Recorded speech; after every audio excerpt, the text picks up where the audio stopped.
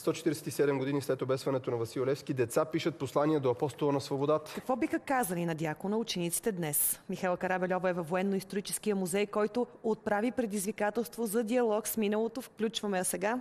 Михайла, добро утро отново. Добро утро. Добро утро от Националния военно-исторически музей. Наистина, изключително трогателни са посланията на децата, които са изпратени тук. Преди да започне нашето, нашето живо включване, аз успях да прочета част от тях. Искам да ви прочета едно, което особено ме впечатли. Дете от Белоградчик завършва своето послание към Левски последния начин. Много искам и след 20 години да прочета това, което написах сега. Тогава отново ще кажа. Васил Левски е гордост за нас, а ние, неговите внуци и правнуци, сме гордост за България.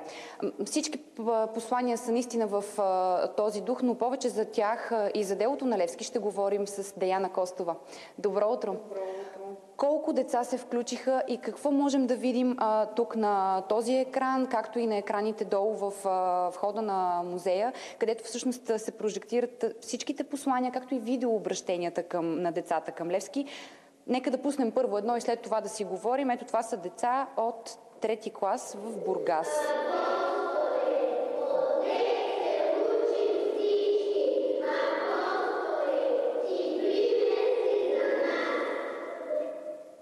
Деца се включиха. Наистина повечето послания са много трогателни за пореден път го казвам. Така е, изключително емоционално беше и за екипа на Националният военно-исторически музей да проследи как се развива тази кампания, да четем и да гледаме тези послания, отправени от децата към Васил Левски. Стотици са те, трудно ми е да кажа точна бройка, тъй като, както виждате, много от тези послания са от класове, други са персонални.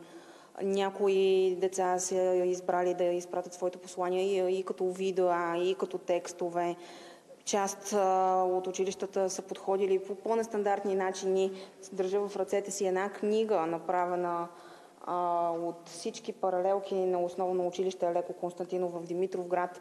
Това е едно произведение, което съдържа не само отговорите на въпроса, не само посланията на децата, но и тяхното творчество в оформлението му, като започнем от буквите и стигнем до обковите. Какво най-често има в техните послания? Децата все пак са на различна възраст и ясно е, че според възрастта и начина на мислене е различен, но в повечето от тях като че ли Левски е един национален герой и те изпитват някакво огромно уважение към него. Примерно аз видях специално в тази книга имаше едно питане как е събрал целият този кораж да се изправи сам в битките. Така е, да. Определено има разлика в а, начина по който децата на различни възрасти възприеха това предизвикателство.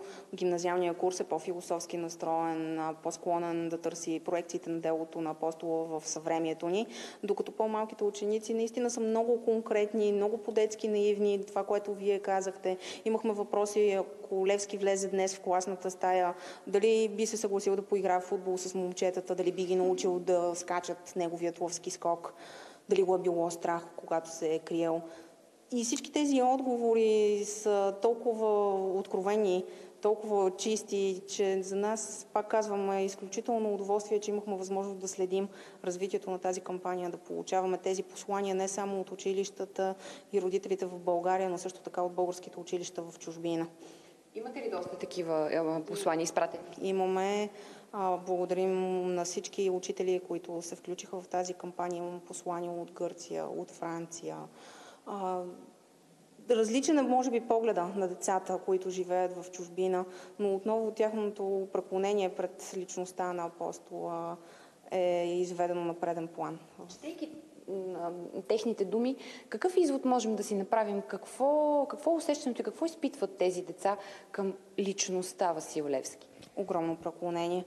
В тази кампания за пореден път ни помогнаха и наследниците на Васил Левски, като започнем от тяхното преклонение пред факта, че кръвта на апостола тече във вените им и стигнем до преклонението на всички тези деца за това, че има един такъв човек, който наистина е дал живота си за свободата на България и им позволява да живеят днес свободни, да правят нещата, които обичат. В днешния ден тук и в музея всеки ще може да се запознае и с делата на Левски.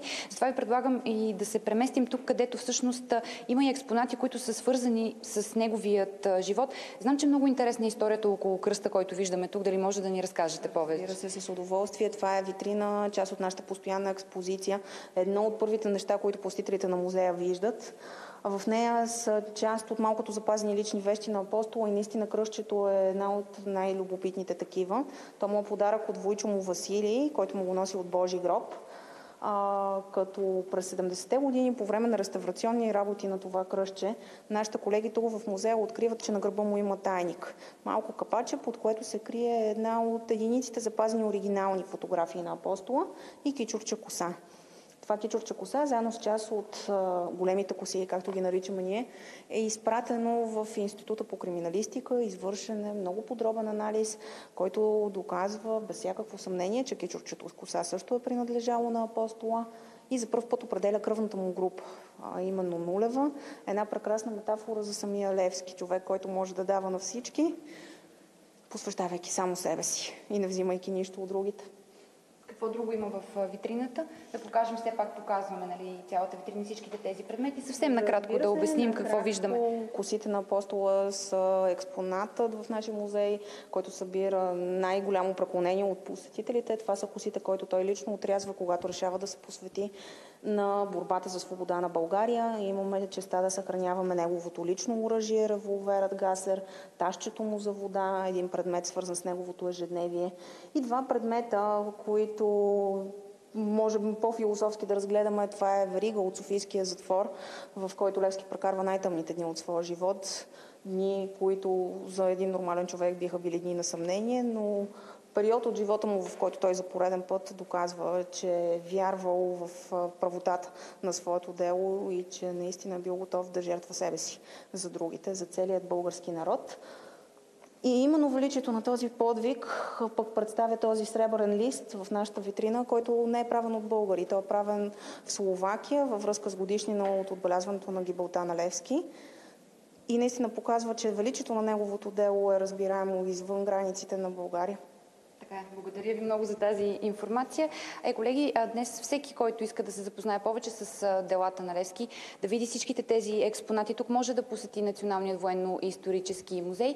А децата пък, които са автори на всичките тези писмени послания и видеообращения, могат да видят а, своите послания на видеостена на първия етаж в музея или пък да се запознаят с подробности с тях тук на този екран в Националният военно-исторически музей през целия ден. Благодарим ти, Михайла. Михайла Карабелева на живо от Военно-историческия музей. Аз си мисля, че всички ние имаме дълг и ангажимент а, да възпитаваме чрез примера си, чрез знанията си в децата, родолюбието и уважението към другите. Какво най-хубаво от това да им разкажем за Левски. Точно така, той пък самия казва, че след неговата кончина не свършва пътя, който трябва да извървим. Наистина трябва да бъдем достойни наследници на Васил Левски, децата да се запознаят за първи път с личността на апостола, а възрастните да поупреснят своите познания.